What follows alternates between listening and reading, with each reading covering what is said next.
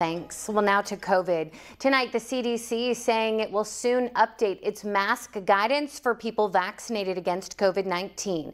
The indoor mask mandate in California could keyword could be lifted June 15th.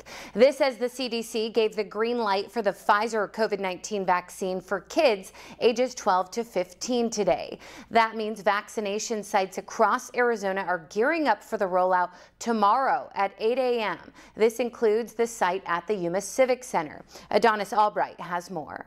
CDC is now saying you don't need to wait, which is going to be really important for our young kids. Preparations are underway at the state supported pod site at the Yuma Civic Center for the next in line to roll up their sleeve. The CDC giving the final green light for the Pfizer coronavirus vaccine for kids ages 12 to 15, with many eager parents already calling in.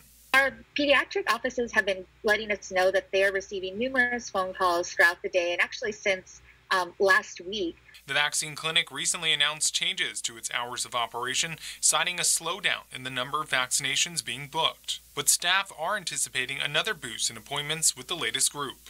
We do anticipate to see a little bit of a surge in patient volumes, especially walk ins. So we want to make sure that we're adjusting our staffing.